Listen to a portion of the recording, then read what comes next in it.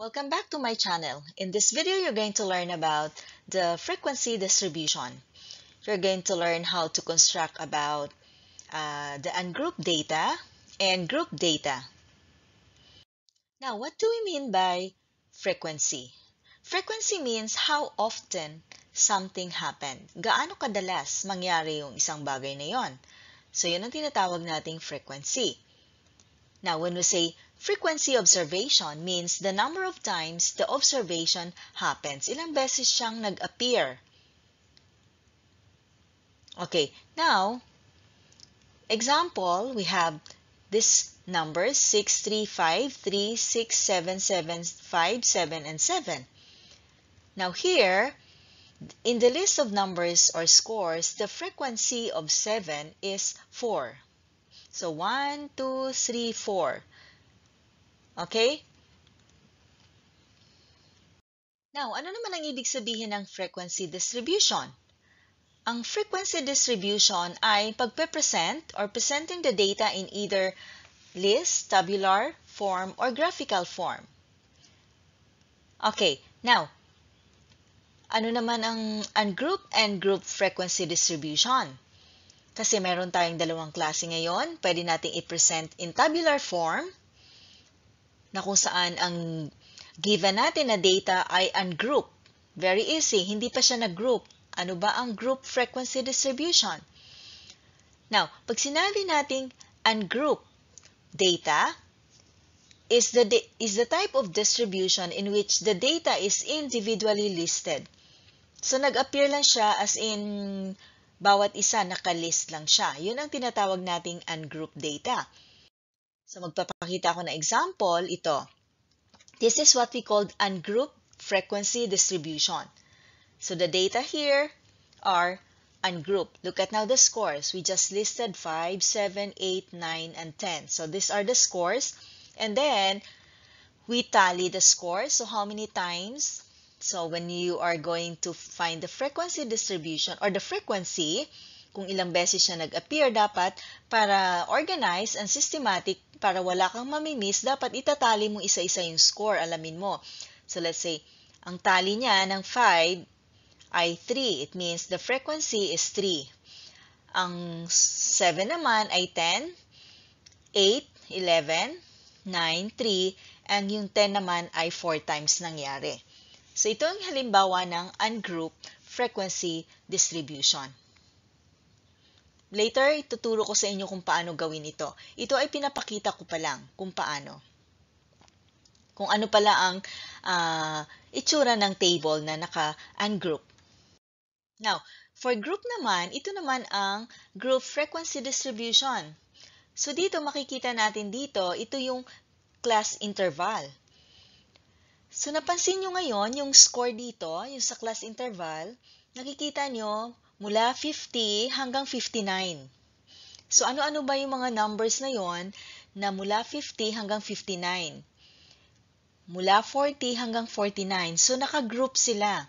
Hindi isa-isa ang paglista natin ng mga scores dito. Ito yung tally nila, ito naman yung frequency nila. Yun ang tinatawag natin na group frequency kasi naka-group sila dito. Yun ang tinatawag na class interval. Pag-aaralan natin kung paano kukunin yung class interval na yan. Ngayon, gusto ko lang ipapakita. So, ang group frequency distribution is presenting the observation into intervals and tabulating the frequencies for each interval. Okay? Now, dito, ang, ito ang tinatawag na uh, number of classes here. Ang number of classes dito ay 6. Ano ba yung number of classes? Ibig sabihin, ilang, ilang, ilang class meron tayo? Ito 1, 2, 3, 4, 5, 6. So, sa class interval na yan, may tinatawag tayong number of classes. So, dito ngayon, meron tayong 6 classes. 1, 2, 3, 4, 5, 6 classes. Okay? Now, ano pang dapat yung malaman dyan? Now, dito naman ngayon, sa bawat class interval na yan, may tinatawag tayong lower class limit and upper class limit. Okay, dito ngayon, ang 50 ay tinatawag nating lower class limit At yung 59 naman dito ay tinatawag nating upper class limit. Pag-aaralan natin yan kung paano kinukuha ang bawat isa ng mga bawat yan. So ngayon, after na matali na natin, makukuha natin ngayon yung frequency. Now, look at this one. Di ba dito sabi natin kanina mula 50 hanggang 59. So, ano-ano yung mga numbers na yun na under dito? Ilan ang numbers na under sa 50 to 59? So, there are 10. Ang tawag naman sa 10 na yon ay class with. Okay? Ibig sabihin 50, 51, 52, 53, up to 59. There are 10 numbers na makakasama dito sa bawat class interval na ito. So, ang tawag doon sa number na yon, kung ilan ang numbers na makakasama doon, ay yun ang tinatawag na class with. So, ibig sabihin, lahat ito, 10 numbers ang masasakop ng bawat interval dito. Okay? So, yun ang tinatawag na class interval, lower class limit, upper class limit, number of classes, and the class with. Okay? Now we're going to learn how to construct and group frequency distribution. So here, the grades of 15 students in their mathematics class. So ngayon, ang gagawin natin, gagawa tayo ng table na kung saan sa table na yon makikita natin ang grades, the tally, and the frequency. Bakit kailangan nating maglagay ng tally? Para wala tayong makaligtaan. So ngayon, unang-una, magde-decide ka ngayon kung paano yung arrangement ng grades. Pwedeng from the highest to the lowest one, or pwede rin naman simula ka sa lowest pataas. Okay? So ngayon, alamin mo muna, you need to check each one kung ano bang pinaka-highest grade dito at ano ba yung pinaka-lowest grade. So let's say 90. Meron pa bang mas mataas sa 90? Yes, 95. Meron pa bang mas mataas sa 95? Okay, 95 din yon. So far, 95 ang pinaka-highest mo. Okay, now, check mo naman ngayon kung ano yung lowest dito. 88. May pinaka may mabas mababa pa ba sa 88? 87. May mas mababa pa ba sa 87? 82. Okay, mas may mababa pa ba sa 82? 80. Okay, so ibig sabihin ang highest mo ngayon ay 95 and the lowest now is 80. Okay, so ngayon, lagay na natin. So ang pag-arrange natin mula sa highest score pababa. So, 95, ano yung sunod sa 95? Wala tayong 94, pero meron tayong 93. So, ilalagay mo 93. Hindi mo na kailangan ilagay yung 94. Next to 93, 92. May 92 ba tayo? Yes. Okay, sunod sa 92, 91. Meron bang 91? Wala. So, hindi mo na kailangan ilagay yon. 90 na yung kasunod. Then, 89. Meron ka bang 89? Walang 89, so 88 na. 87, 85, uh, 86, walang 86. So, mayroon kang uh, 82. Ang kasunod na, walang 86, walang 80, uh, 84, wala ring 83. 82, then the lowest is 80. Okay, so ayan na, mayroon na, nandiyan na ngayon yung mga scores. Now, ang gagawin mo ngayon, isa-isahin natin. Then, i-cross out natin para, hindi, para sure natin na nalista na natin siya. 90. So, ang 90 dito. Okay, 1. Then, we have 88. 1. And then, we have 87. 1. 95. Here. 93. Here. 92. Here. 93 here, 93 again, then 92, then 95, 90, and then 82, 87, 80, and then 90. Okay, so yan ngayon ang tallying. Okay, next. Bibilangin lang natin 2. So, sa 95, meron tayong 2. Yan yung frequency. Sa 93, meron tayong 3. Sa 92, meron tayong 2. 90, meron tayong 3. 1, 2, 1, and 1. So now, to make sure na wala kang nakaligtaan, dapat yung total nito ay kung ano yung nabanggit dito, kung ilan yung score, 15. So, dapat ito, 15 lahat. Okay? So, pwede mong lagyan dito, and the number of scores there, or grades, is equal to 15. Okay, so that's how you're going to construct ungroup frequency distribution. N is equal to 15. Now, what about sa group frequency distribution naman ngayon? So, group frequency distribution is a table where we groups the data into different classes to simplify the presentation. Kasi isipin nyo kung uh, madami, bakit ba tayo mayroong group? Bakit ginagawa ito? Ito yung mga reason kung bakit kailangan nating i-group. Unang-una sabi dito, to simplify the presentation. Group frequency distribution is used if we have large number of observations and the difference between the highest value and the lowest value is large. So here, gagamit tayo ng group frequency distribution pag sakaling napakadami yung mga scores or yung observations, yung data natin, o kaya yung difference ng highest to lowest value ay napakalaki. Okay? Para ma-simplify natin yung presentation. Now, how are we going to construct the frequency distribution? So, look at this one. So, ngayon, ito yung mga set of data ko ngayon. So, kung bibilangin mo yan, 1, 2, 3, 4, 5, 6, 7, 8, 9, 10, 11, 12, 13, 14, 15. So, 15, 15, 15. Meron akong 45 scores or uh, whatever it is. So, mayroon akong 45. Napakadami, di ba? Kung ilalagay ko yan ng ungroup, napakahaba ng table ko. So, ngayon, ang gagawin natin, magko-construct tayo ng group frequency distribution. So, ito yung mga steps kung paano natin gagawin. Unang-una, alamin mo muna kung ano yung sample size. So, ang sample size natin ay 45. N is 45. Sample size, ibig sabihin kung ilan ito lahat. Pag alam na natin ang sample size, next step natin ay alamin natin kung ilan ang number of classes na dapat nating gagawin. Ano yung classes kanina? Di ba sa ipinakita ko kanina, 6 classes. Okay? So ngayon, alamin natin kung ilan ang classes na gagawin natin. Basta na lang ba natin huhulaan yon? Okay, no. Mayroon tayong pattern or rule na fina-follow to find the number of classes. And that is 2 raised to k, wherein k is the number of classes. This is the rule, 2 raised to k.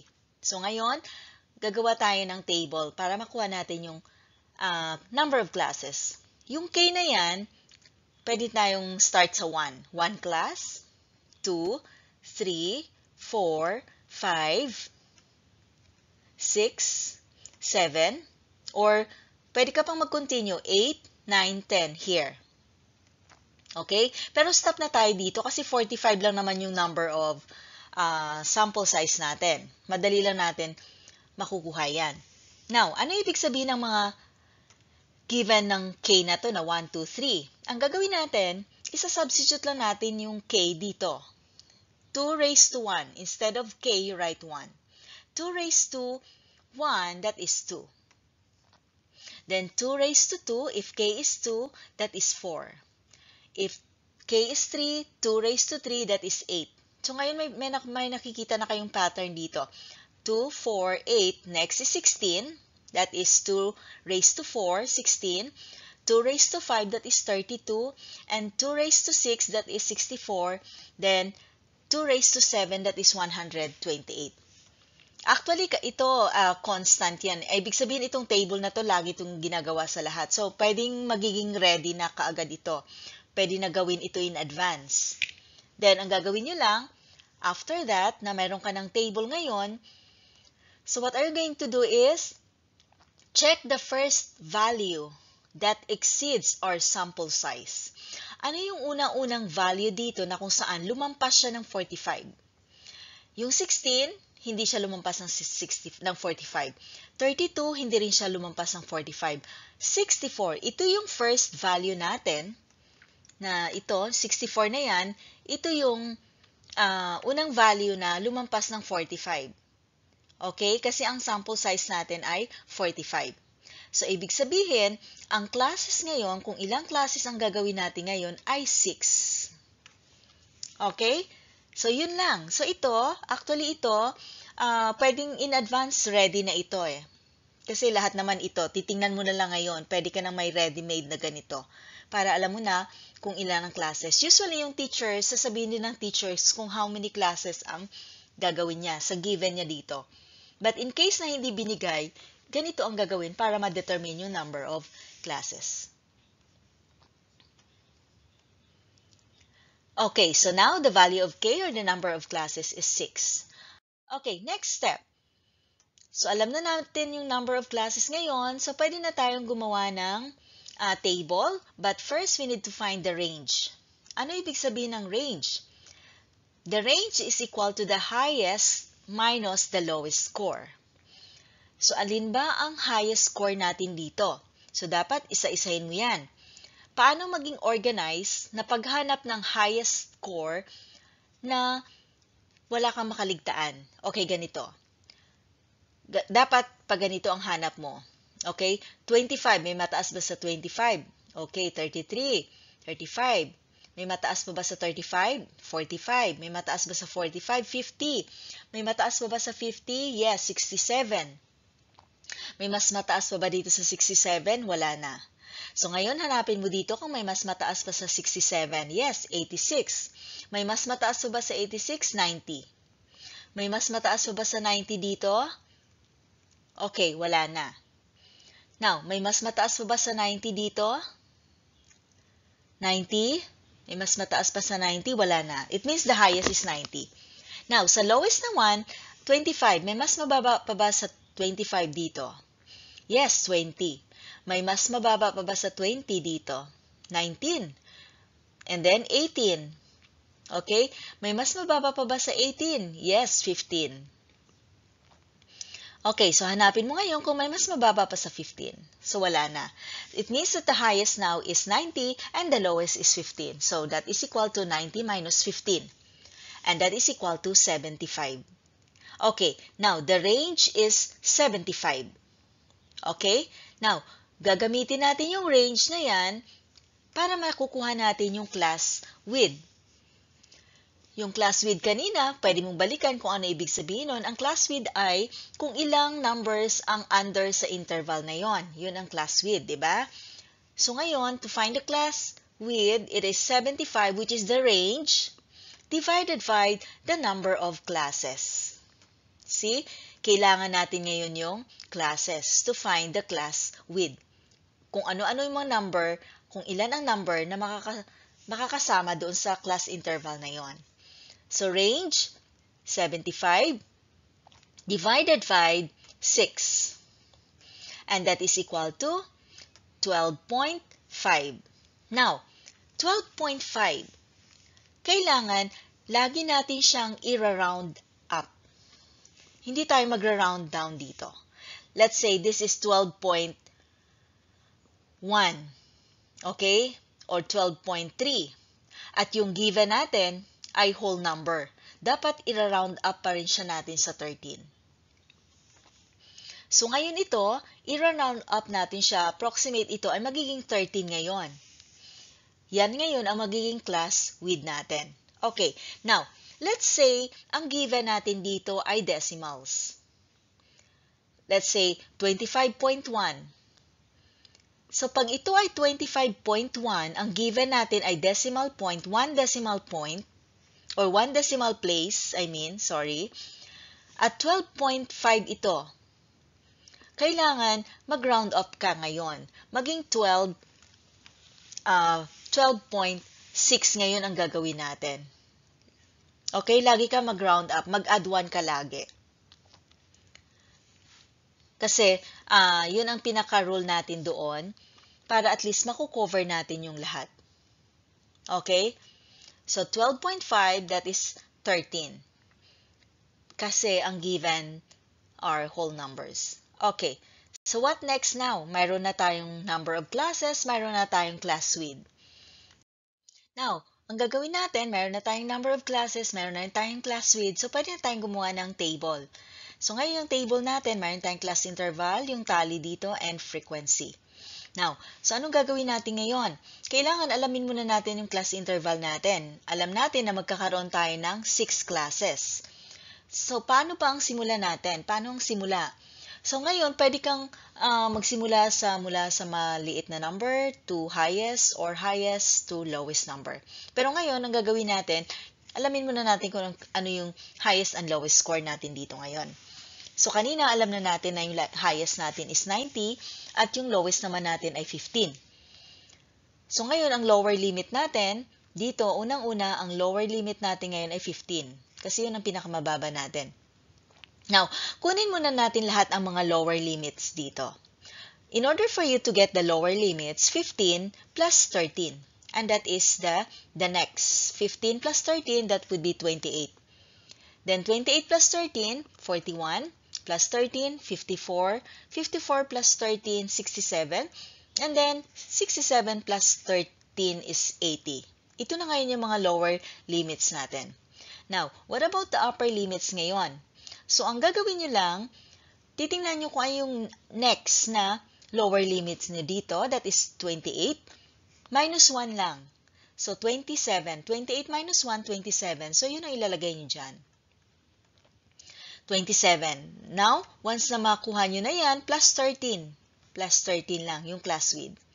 So, plus 13, that is 40. 40 plus 13, that is 53 plus 13, 66, 66 plus 13, and then again, 79 plus 13.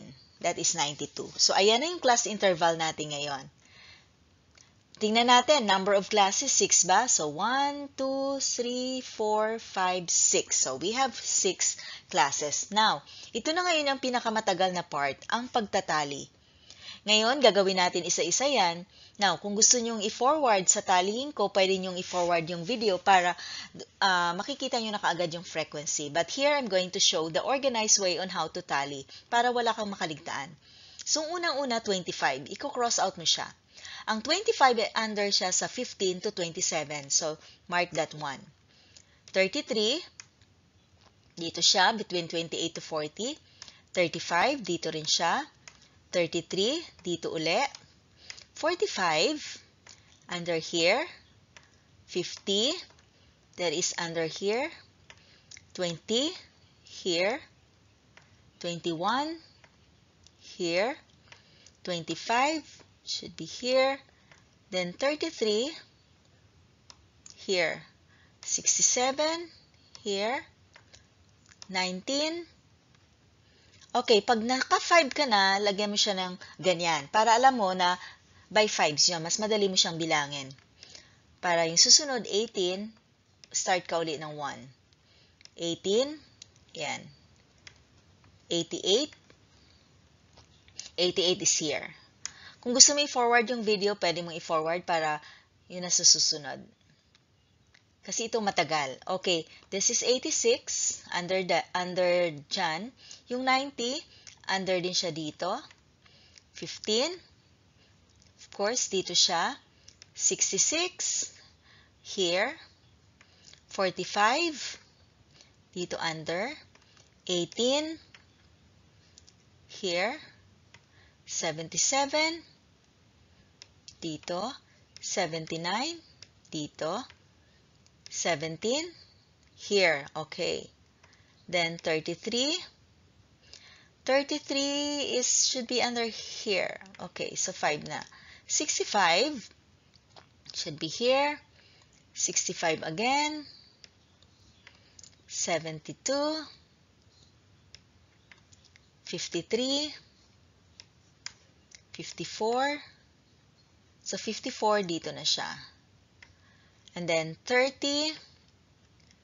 Okay, so start ulit ako. 65. 5 na yon. 67. So 5 na rin siya dito. 88. Dito. Another 88. 5. 89. Here. That's 89. 90. Also here, 72. Okay, start na naman ng 1. 76. Start dito din siya under. 57. 57 here. 83 should be here. 82 should be here. 83, one more, okay. Then, a 48. 48 should be here. And the last one is 47, should be here. Okay, so yan. Ngayon, bilangin natin 5, 10. So, dapat 10 ang frequency natin dito. So, that's 10. Next is 6, 6, 6, 7, and 10. Okay, so yan, wala tayong nakaligtaan. Okay? Ngayon, dapat ang total nito ay 45. So, 10 plus 16, pakitotal nyo lahat yan. That would be equal to 45. So, that's how you're going to construct frequency distribution. Now, hindi lang yan. Kasi ito, pag may isusolve pa tayong, let's say, kunin natin yung mean, median nito, pwede nating extend itong table na yan. So, mayroon akong uh, extend sa next slide, extend natin yung table na kailangan din siya. Ituro ko na rin kung paano kukunin. So, ender is equal to 45. Okay. So, now, so now ito ngayon ang extend natin, yung table natin kanina. Ang class width natin ay 13. Ito yung taling. Ito yung n is equal to 45. Now, dito, mayroon tayong tinatawag na class boundaries class marks, and cumulative frequency. Pag in-extend natin yung ating uh, table for group data. Kasi kailangan din ng mga ito para kukunin yung mean, median, and uh, mode or median in the next lesson. Okay? Now, paano ba kukunin ang class boundary? Ang class boundary, napansin nyo dito, parang mayroong gap dito, di ba? 15 to 27, 27, then 28, may, may gap dito. So ngayon, ano ba ang pinaka-lower class boundary natin? Dito, napakadali lang kunin. Ang lower class boundary, magma-minus 0.5 ka lang dito. So kung 15 siya, minus 0.5, magiging 14.5. So kunin muna natin lahat ng lower uh, class uh, boundary natin, yung lower. 27.5, 28 minus 28 minus 0.5 is 27.5. 41 minus 0.5 is 40.5. So 40.5 and then 53.5. Here, 67.5. Ah, 66.5 for 67 and 80 that should be 79.5. Okay, now, dito naman, paano naman natin makukuha nito ngayon? Here, Ganon din. Dito naman ngayon, instead na magma-minus ka, magpa-plus ka ng 0.5. So, kung 27 yan, maging 27.5. Next, 40.5, 53.5, 66.5, 79.5, and 92.5. So, ayan. So, yan ang tinatawag natin na class boundary. So, wala na ngayong gap dito. Okay? Now, ang gagawin natin ngayon, next to that, is to get the class marks. Okay? Paano kukunin ang class uh, marks? Simply, yung lower limit natin plus the upper limit divided by 2. So, 15 plus 27 divided by 2, that is equal to 21, which is equal to, that is now what we call the class marks. So, 21. Dito naman, next is 28 plus 40 divided by 2. 41 plus 53 divided by 2. So, ganun kunin ang class marks. So, ayan. Okay? So, sundan nyo lang again para kunin yung 86 na to na class mark. 80 plus 92 divided by 2. That is 86. Now, how about cumulative frequency? Ano naman ibig sabihin ng uh, part dito? Cumulative Ibig sabihin nito, pag cumulative, parang ina-add lang siya natin sa previous one. Okay, let's say start tayo dito, 21, di ba? Ang frequency niya ay 10 dito. Okay? Na kung saan ang class marks ay 21 or yung part na to, sa first part natin dito. Una, cumulative frequency. So, ang unang frequency natin ay 21. I mean, sorry, 20, uh, 10. Here, that's the frequency 10. So, ngayon, ilalagay lang natin siya 10. Now, para makukuha natin yung susunod na cumulative frequency, 10, ipa-plus lang natin yung sumunod doon na frequency. So, 10 plus 6, that is 16. So, dapat 16 dito. Okay? Now, 16, ipa-plus mo ngayon yung susunod. 16 plus 6 uli. That is equal to 22. Then, tuloy-tuloy lang. 22 plus 6 uli. 28. 28 plus 7, 35. And 35 plus 10, 45. Now, anong napansin nyo ngayon sa pinakahuli nating cumulative frequency? Dapat ang pinaka-last dito na cumulative frequency is equal to the sample size, which is 45. Pag hindi tugma yan, ibig sabihin there is something wrong sa pagtatali mo. Ibig sabihin, mali. Ang may, may kulang ka doon. So, dapat ito magmamatch dito. Pwede ka mag, pwede rin mag-start dito. Sa start ka sa 10, pataas. Ganon. Okay? So, that's how you're going to get the cumulative frequency. Na kung saan ito ay makakatulong sa mga susunod na lesson pagkuha ng mean, median, and mode ng group distribution. That's all for this video and thank you for watching. See you in the next one. Bye!